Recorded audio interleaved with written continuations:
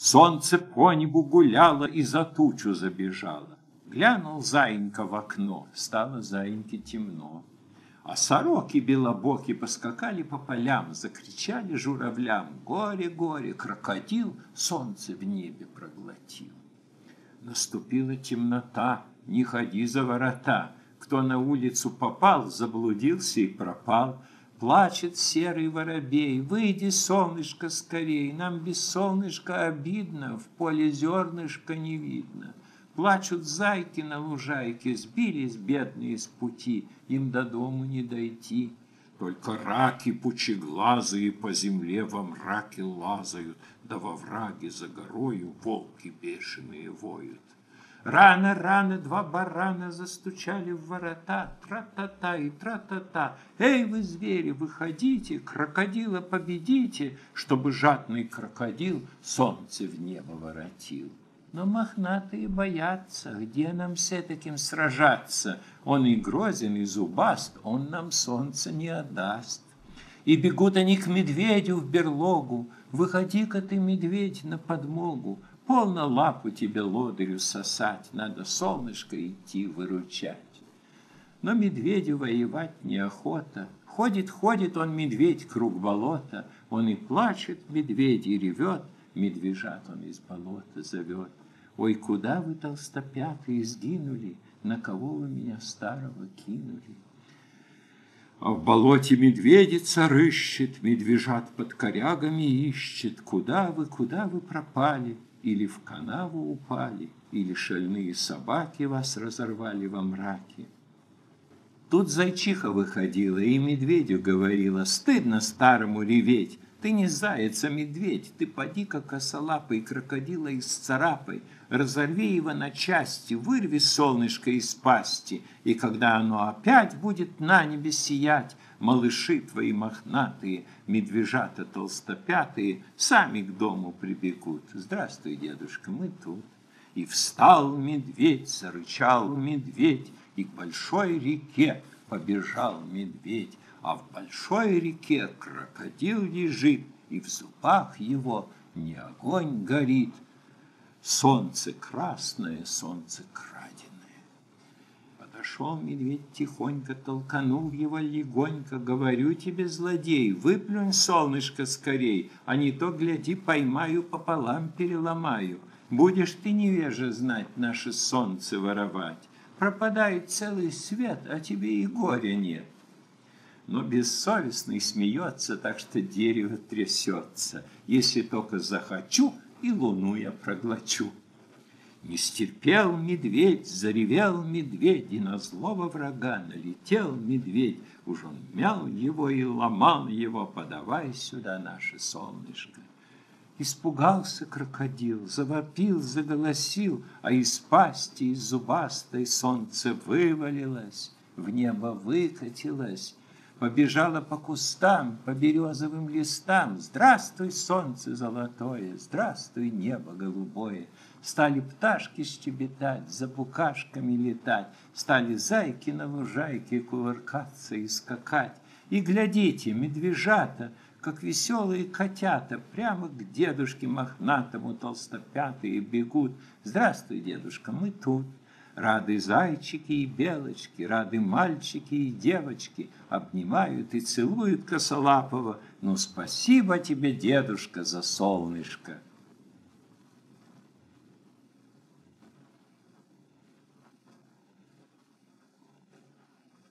Замяукали котята, надоело нам мяукать. Мы хотим, как поросята, хрюкать, а за ними и утята — не желаем больше крякать, мы хотим, как лягушата, квакать.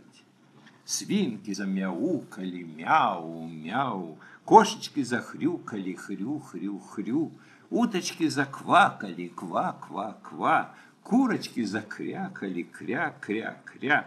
Воробушек прискакал и коровой замычал, му Прибежал медведь и давай реветь, кукареку. Только заинька был паинька, не мяукал и не хрюкал. Под капустой лежал, по заячьи лопотал и зверюшек неразумных уговаривал. Кому велено чирикать, не мурлыкайте. Кому велено мурлыкать, не чирикайте. Не бывать вороне коровою, не летать лягушатам под облаком. Но веселые зверята, поросята, медвежата пуще прежнего шалят, зайца слушать не хотят. Рыбы по полю гуляют, жабы по небу летают, мыши кошку изловили, в мышеловку посадили, а лисички взяли спички, к морю синему пошли, море синее зажгли, море пламенем горит, выбежал из моря кит. Эй, пожарные, бегите, помогите, помогите! Прибегали два курчонка, поливали из бочонка, приплывали два ерша, поливали из ковша, прибегали лягушата, поливали из ушата, тушат, тушат, не потушат, заливают, не зальют. Тут бабочка прилетала, крылышками помахала, стало море потухать и потухло. Вот обрадовались звери, засмеялись и запели. Гуси начали опять по гусиному кричать «Га-га-га!» Кошки замурлыкали «Мур, мур, мур!» Птицы зачирикали «Чик-чирик!» Лошади заржали Мухи зажужжали «Жжж!» Лягушата квакают «Ква-ква-ква!» А утята крякают «Кря-кря-кря!» Поросята хрюкают «Хрю-хрю-хрю!» Мурочку баюкают «Милую мою!» Баюшки-баю, баюшки-баю.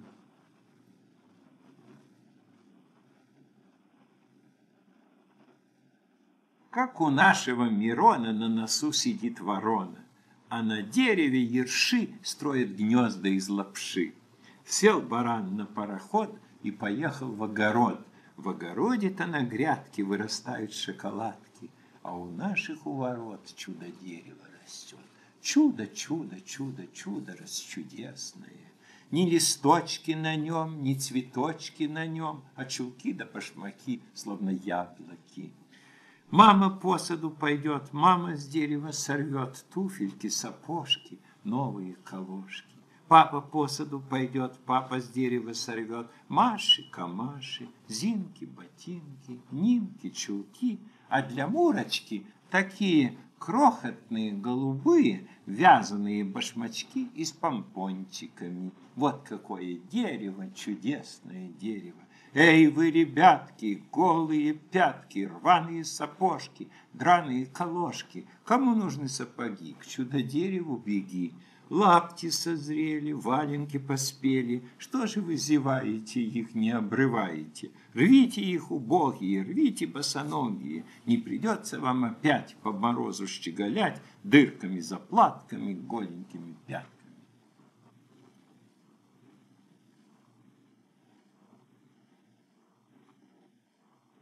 Мура туфельку снимала в огороде, закопала. Расти, туфелька моя, расти, маленькая. Уж как туфельку мою я водичкою полью, И вырастет дерево, чудесное дерево. Будут, будут босоножки к чудо-дереву скакать И румяные сапожки с чудо-дерева срывать, Приговаривать. Ай да Мурочка, ай да умница.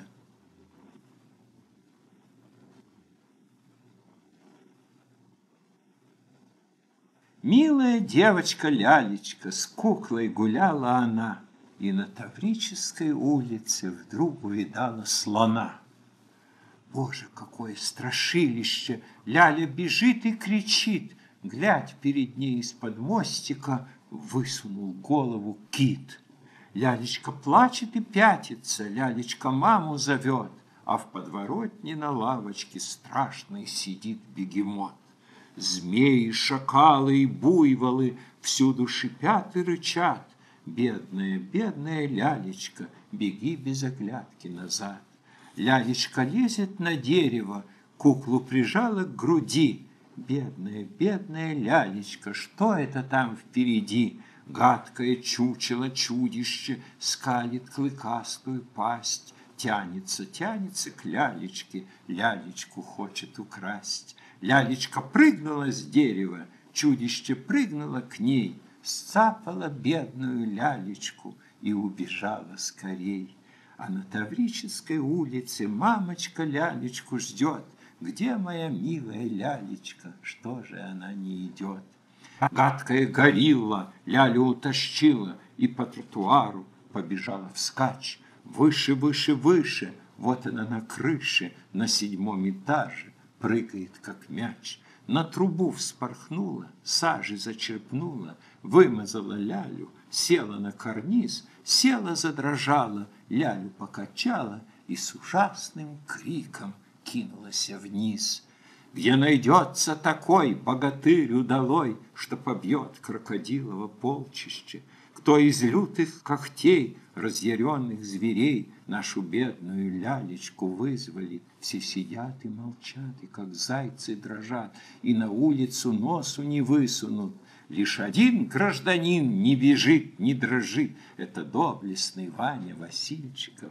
Он ни львов, ни слонов, ни лихих кабанов Не боится, конечно, ни капельки. Они рычат, они визжат, они сажать его хотят, Но Ваня смело к ним идет и пистолетик достает. Пиф-паф, и яростный шакал быстрее лани ускакал. Пиф-паф, и буйвол наутек, за ним в испуге носорог.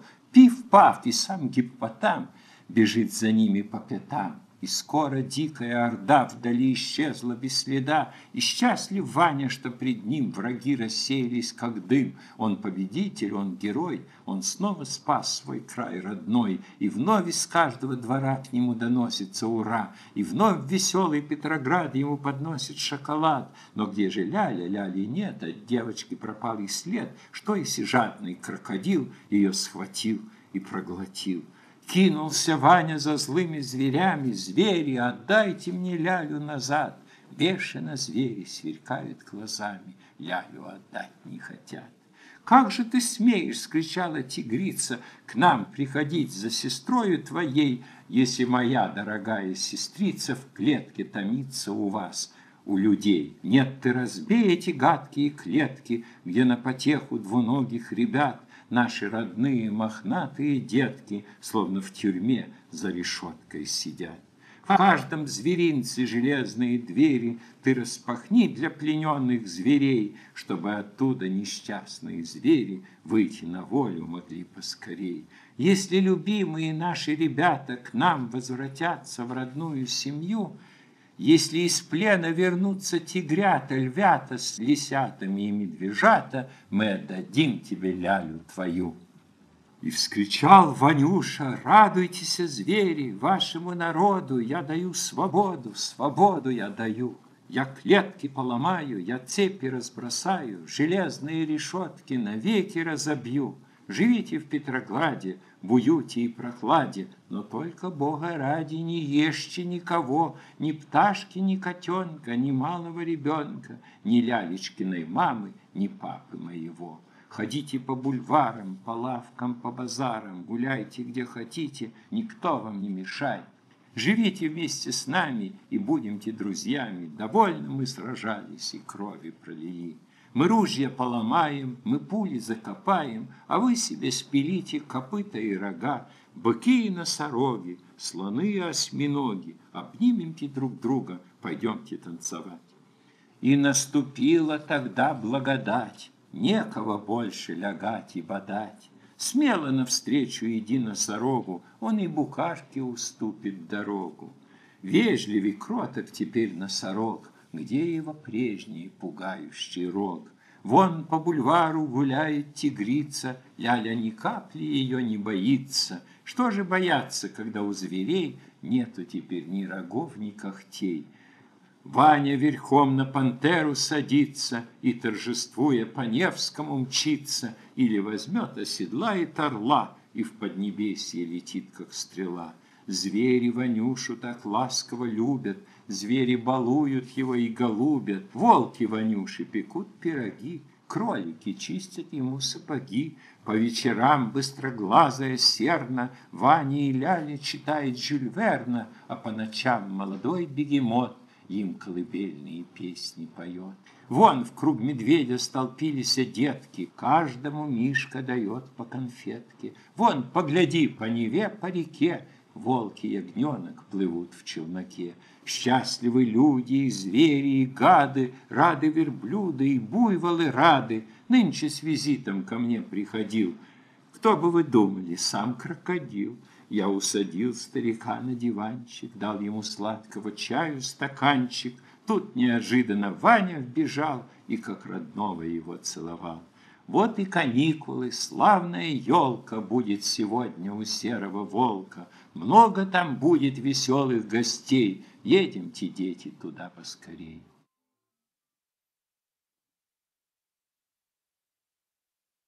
Рады, рады, рады, светлые березы, И на них от радости вырастают розы. Рады, рады, рады, темные осины, И на них от радости растут апельсины. То не дождь пошел из облака и не град, То посыпался из облака виноград. И вороны над полями вдруг запели соловьями, И ручьи из-под земли сладким медом потекли. Куры стали павами, лысые кудрявыми, Даже мельница и та заплясала у моста. Так бегите же за мною на зеленые луга, Где над синей рекою встала радуга-дуга. Мы на радугу вскарабкаемся, поиграем в облаках, И оттуда вниз по радуге на салазках, на коньках.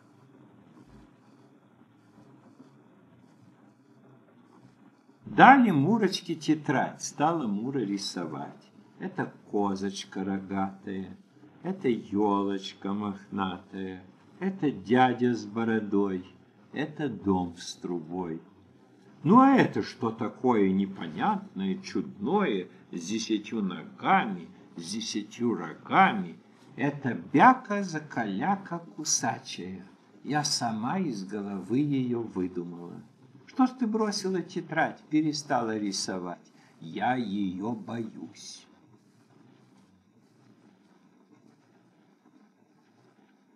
У канавки две козявки продают ежам булавки, а ежи-то хохотать все не могут перестать. Эй, вы глупые козявки, нам не надобны булавки, мы булавками сами утыканы.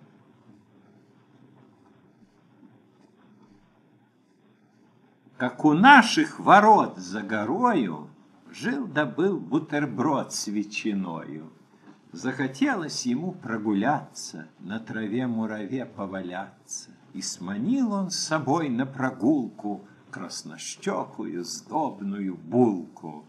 Но чайные чашки в печали, Стуча и бренча, закричали, Бутерброд, сумасброд, не ходи из ворот, а пойдешь, пропадешь, мури в рот попадешь. Мури в рот, мури в рот, мури в рот попадешь.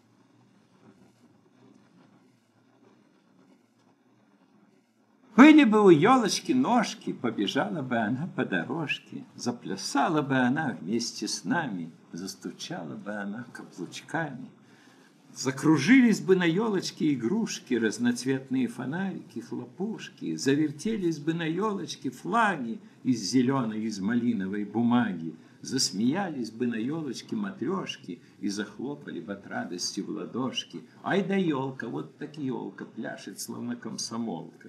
От того, что у ворот постучался Новый год, новый, новый, молодой, золотой бородой.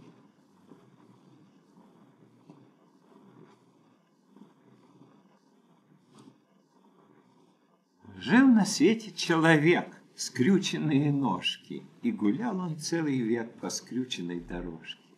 А за скрюченной рекой, в скрюченном домишке, Жили летом и зимой скрюченные мышки. И стояли у ворот скрюченные елки, Там гуляли без забот скрюченные волки. И была у них одна скрюченная кошка, И мяукала она, сидя у окошка а за скрюченным мостом скрюченная баба по болоту босиком прыгала, как жаба. И была в руке у ней скрюченная палка, и летела вслед за ней скрюченная галка.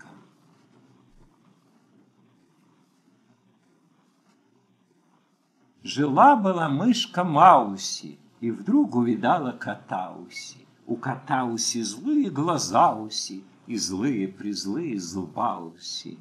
Подбежала Катауси к Мауси и замахала хвостауси. Ах, Мауси, Мауси, Мауси, подойди ко мне, милая Мауси, я спою тебе песенку Мауси, чудесную песенку Мауси.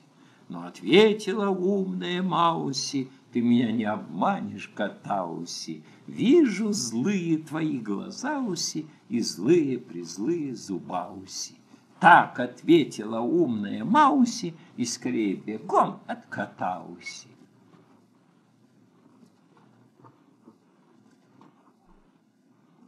Была телега у меня, да только не было коня. И вдруг она заржала, заржала, побежала. Глядите, побежала телега без коня. Что это такое? Это, конечно, грузовик. А это про пароход. Паровоз без колес. Вот так чудо-паровоз. Не с ума ли он сошел? Прямо по морю пошел. А вот это отгадайте, пожалуйста. Был белый дом, чудесный дом, и что-то застучало в нем, и он разбился. И оттуда живое выбежало чудо, такое теплое, такое пушистое и золотое. Это, конечно, цыпленок. Красные двери в пещере моей, Белые звери сидят у дверей, И мясо и хлеб, всю добычу мою Я с радостью этим зверям отдаю. Это, конечно, зубы и губы. Два коня у меня, два коня, По воде они возят меня, А вода тверда, словно каменная. Это, конечно, коньки. Лежит, лежит копеечка у нашего колодца, Хорошая копеечка, а в руки не дается. Подите, приведите четырнадцать коней, Подите, позовите пятнадцать силачей, Пускай они попробуют копеечку поднять, Чтоб Машенька копеечкой могла бы поиграть. И кони прискакали, и силачи пришли, Но маленькой копеечки не подняли с земли, Не подняли, не подняли и сдвинуть не могли. Это, конечно, луч солнца на земле. Такой бывает круглый луч там на траве. Марьюшка, Марусенька, Машенька и Манечка Захотели сладкого сахарного пряничка. Бабушка по улице старенькая шла, Девочкам по денежке бабушка дала. Марьюшке копеечку, Марусеньке копеечку, Машеньке копеечку, Манечке копеечку. Вот какая добрая бабушка была. Марьюшка, Марусенька, Машенька и Манечка побежали в лавочку и купили пряничка. И Кондрат задумался, глядя из угла, много ли копеечек бабушка дала. А бабушка дала всего одну копейку, потому что Марьюшка, Марусенька, Машенька и Манечка – это одна девочка. Ах, не трогайте меня, обожгу и без огня. Это крапива. Растет она вниз головою, не летом растет, а зимою, но солнце ее припечет, заплачет она и умрет. Это сосулька. Конечно, она растет вниз головою, не летом растет, а зимою. Мудрец в нем видел мудреца, глупец глупца, баран барана. Овцу в нем видела овца и обезьяну обезьяна. Но вот подвели к нему Федю Баратова, и Федя неряху увидел Лохматова потому что это было зеркало. Хожу, брожу не по лесам, а по усам, по волосам, и зубы у меня длиннее, чем у волков и медведей. Это, конечно, гребешок. На малину налетели, поклевать ее хотели, но увидели урода и скорее из огорода. А урод сидит на палке с бородой из мочалки. Ну, это, конечно, пугало огородное. Две ноги на трех ногах, а четвертая в зубах. Вдруг четыре прибежали и с одной убежали. Подскочили две ноги, ухватили три ноги, закричали на весь дом, да тремя по четырем. Но четыре завизжали и с одной убежали. Это, конечно, две ноги на трех ногах. Это мальчик с двумя ногами сидел на трехногом стуле, а четвертая у него была в зубах, это была у него ножка куриная. Вдруг четыре прибежали и с одной убежали, это, конечно, собака. Подскочили две ноги, ухватили три ноги, закричали на весь дом, да тремя по четырем. Это трехногим стулом в эту самую собаку. Но четыре завизжали и с одной убежали. Вдруг из черной темноты в небе выросли кусты а на них-то голубые, пунцовые, золотые распускаются цветы небывалой красоты. И все улицы под ними тоже стали голубыми, пунцовыми, золотыми, разноцветными. Это салют.